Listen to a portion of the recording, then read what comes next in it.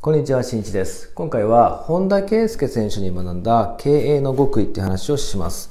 えー本田圭佑といえば、もともと日本で、えーサッカーをしていて、その後、えードイツへ行ったり、ロシアへ行ったり、えその後は、イタリアの AC ミランに行きました。で、そこでは結果を残すことができずに、え南米のパチューカに移籍しましたね。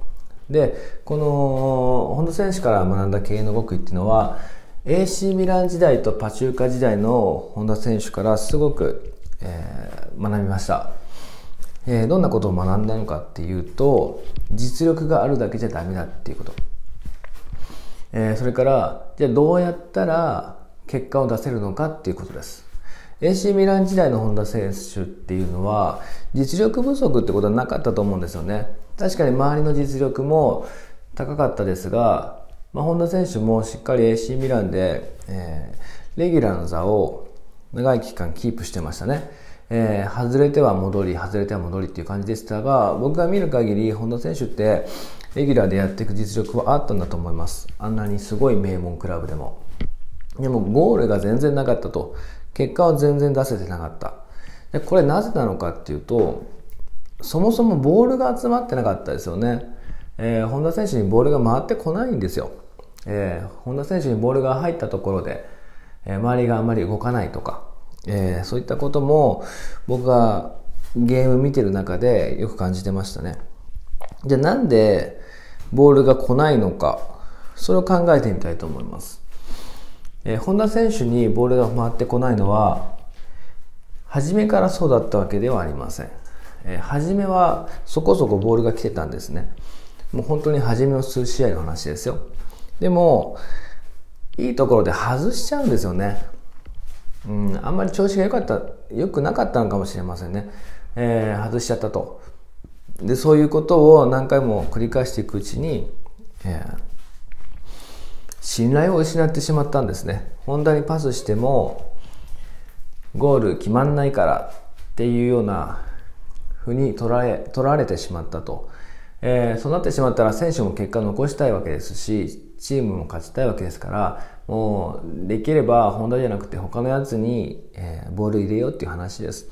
えーそうなってしまったら自分にボールが入ってこないから結果も出ないと。出しにくいってことですね、えーたとえどんなにえー実力のある選手でもパスが来なかったらなかなか結果って出せないですからね、えーどんなにいい飛び出しをしたとしても、えーどうせ外すからって思われたら終わりなわけですよ、えーそういうこともあってダメでしたと。じゃあ、えーパチューカ時代の本田選手ってどうなのか、えーすごい活躍してましたよね。あのチームで挙げる得点の半分は本田選手絡みだったっていうデータも出てますね。えー5試合で4得点とか、えーアシストもたくさんしてました。もうかなり活躍してたのは、えー誰でも知っているところだと思います。じゃあなんで本田選手がパシューカだと活躍できたのか。これはもうボールが入ってくるからっていうのが一つですね。それからまあ、まあ、本田選手に実力があって、えー自分でボール運んでいくくらいのレベルの、えー環境にいたからっていうのも一つありますよね。うん。で、もう一個大事なのは、やっぱり信頼なんですよ。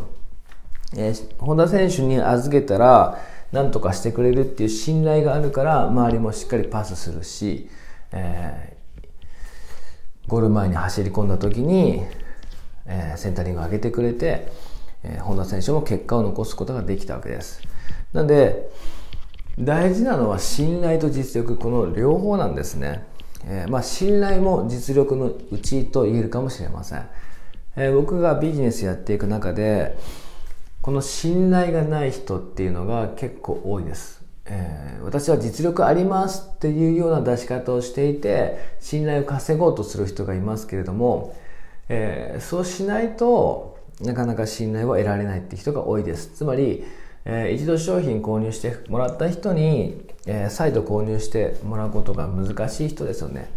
例えばよくあるパターンがプロダクトローンチという、えー型があります。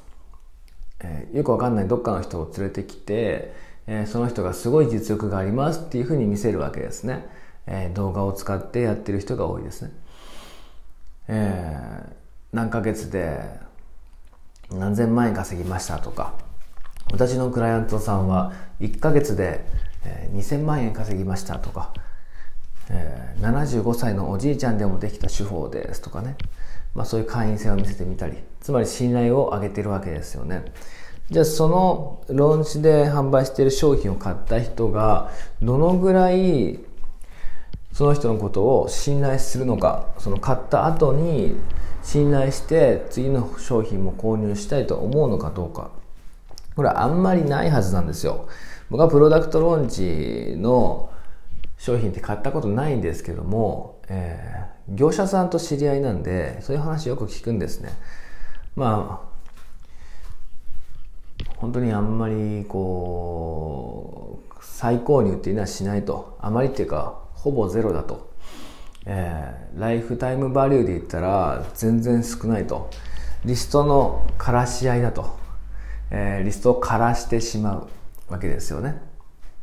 えー、干からびちゃうわけです。で死んでいってしまうと、えー、そういうふうにプロダクトローンチの見せ方とかはそういうふうになってるんで、えー、全然信頼されないわけですね。でも僕は別にプロダクトローンチを完全否定したいわけではないんですよ、えー、プロダクトローンチであの売ったとしてもその商品が素晴らしかったら、えー、信頼されるはずなんですね、えー、信頼されてで再度購入っていうふうに何度も何度も繰り返してもらえるはずです。えー、AC ミラー時代の本田選手が、まあ、残念ながら結果出せませんでしたけど、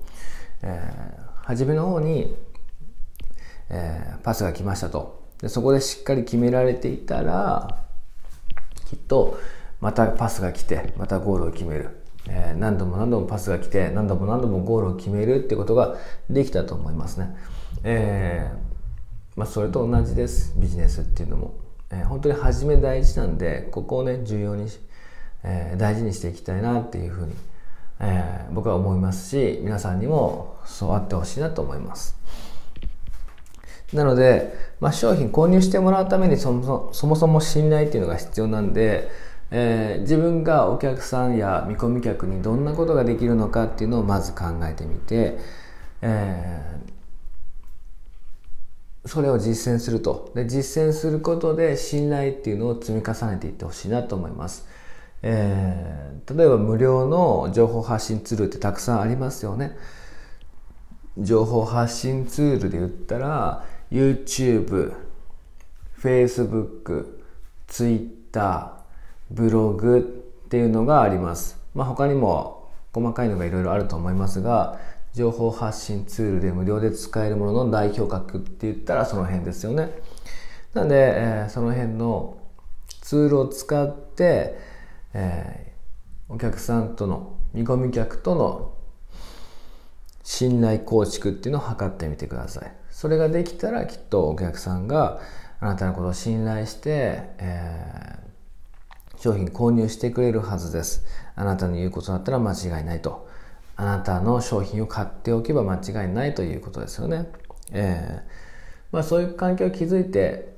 でさらにその商品を買ってもらうことによってさらに信頼関係っていうのを築いていくことができればあとはその繰り返しなんで、えー、きっとうまくいくと思いますよ。はい、えー、よろしいでしょうか？ちょっとまとめますね、最後に。えー、本田選手から学んだ経営の極意っていうのは、実力と信頼関係の両方が、えー、結果を出すためには重要だっていうことですね。えー、結果を出すためには、まず信頼残高っていうのを高くする必要があります。信頼関係っていうのを強固にしていく必要があります。えー、で、信頼関係ができたらチャンスが巡ってくるので、そのチャンスにしっかりと応えること。それができたら、その繰り返しで、えー、次のステージにどんどんどんどん進んでいくことができるはずです。えー、よろしいでしょうか。はい、では今回は以上となります。